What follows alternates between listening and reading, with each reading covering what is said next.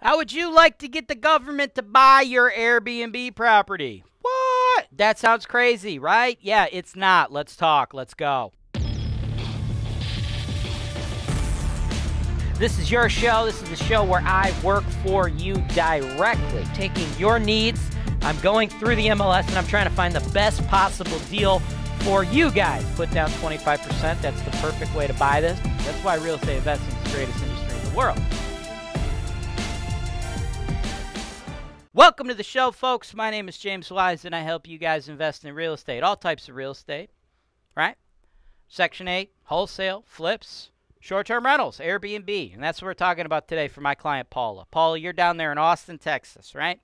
Now, Austin gets a lot of people moving into it, right? You get a lot of people escaping California communism, and they, they come to Austin. So Austin doesn't have a problem uh, attracting a lot of people to move there, right? Now, there's this other market. It's called Cleveland, Ohio. Not necessarily a market a lot of people think about when they think about people moving into somewhere, right? And that's how I'm going to get the government to buy you an Airbnb, right? There are actually certain neighborhoods of Cleveland where the government is paying developers to build new construction because they want gentrification in certain areas. And when you invest in a gentrifying neighborhood, folks, what do you think you get? You get high price increases. So, uh, uh, Paula, if you pay attention to the hottest neighborhoods in the Cleveland market, outside of the pure cash flow you can get running it as an Airbnb through my company, we will handle everything on the ground because it'd be really hard for you to do so from Austin. You have an opportunity to hop on that appreciation train, right? Let's check out the numbers on this deal and more information on how the free money from the government works right after this. Hey, Steve. What are you doing? Oh, nothing. Just saving money on my rental property insurance. Oh, my Steve. Take me now.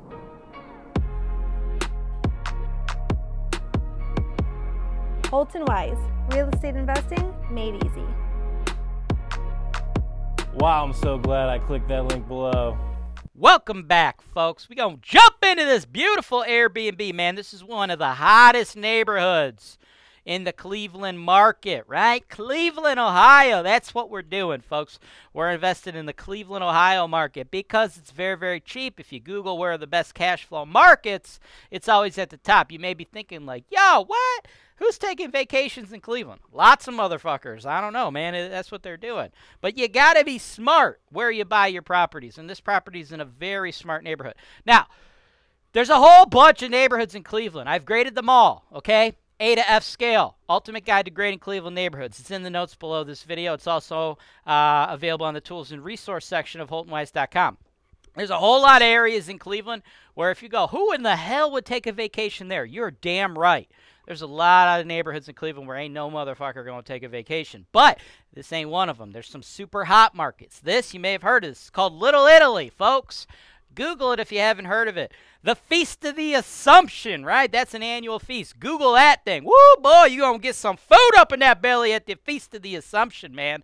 Check that stuff out. This neighborhood is a draw, but the pricing still super cheap compared to other markets. And you know what else is great about the Cleveland market? How about free money? What? Should open the show with that. Free money. There are certain neighborhoods in Cleveland we are seeing revitalization and gentrification. You want to know why? Because Cleveland is paying for it.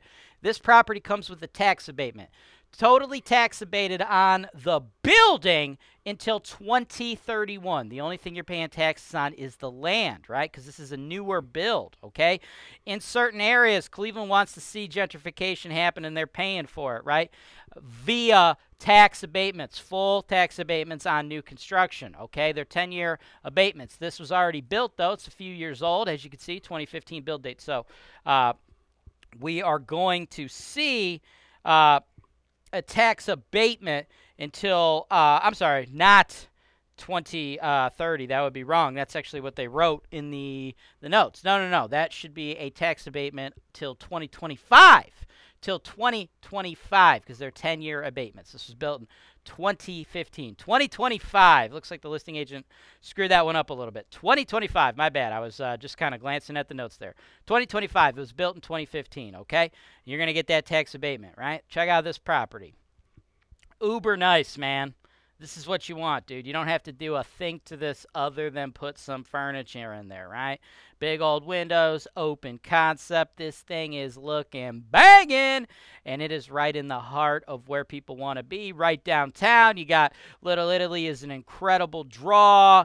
You got freaking the Guardians, the casino, the Cavs, the Browns. You got the whole shebang, okay?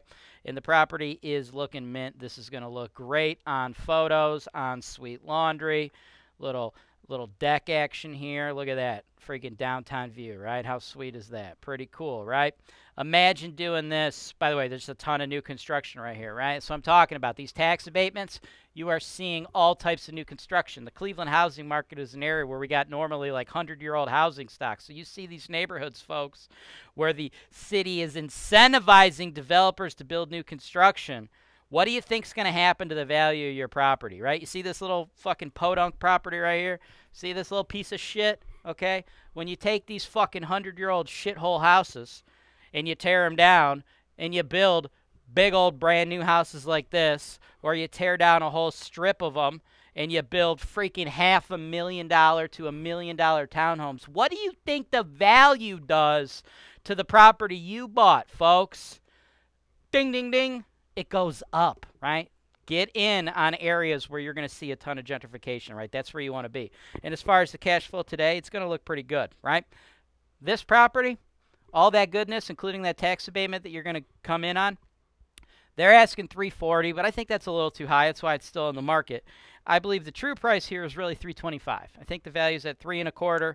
And then just so you know, obviously we're going to need to do 25k worth of uh, furnishings, right? Because we got to furnish it if we're doing Airbnb. It's going to bring us up to a total investment of 350. As far as rent goes, being in such a high demand area, I anticipate a $350 a night rental charge. Obviously, we're not going to collect 10850 in rent though because that would require us renting it 31 days a month. That ain't going to happen. You ain't renting this thing every single day. It's short-term rentals, folks. You got to factor in a historical vacancy, which we get in Cleveland. Uh, we're really going to be renting it about 60% of the time. That's the short-term rental business. So, in reality, we should be pulling in after all the costs, after having my team manage everything, a little bit over $4,000 a month or a 50K a year NOI, right? Now, as far as what the numbers really look like, you don't have to pay all 350 in cash. This is real estate, baby. Financing other people's money. We're going to use the bank's money. We're going to use the government's money with the abatement, right? All you're going to need is 106 grand, okay? 81,250 out of your pocket for the down payment, then another 25k for Holton Wise to go in and furnish, set everything up, get your Netflix going.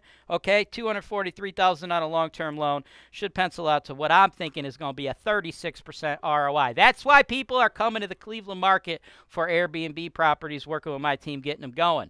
You don't necessarily think of Cleveland when you think of vacation markets, but when you actually dig deeper and you see stuff like this in the hot pocket neighborhoods, the neighborhoods where you're seeing the path to progress, you're seeing gentrification, it actually makes quite a bit of sense. Let's go.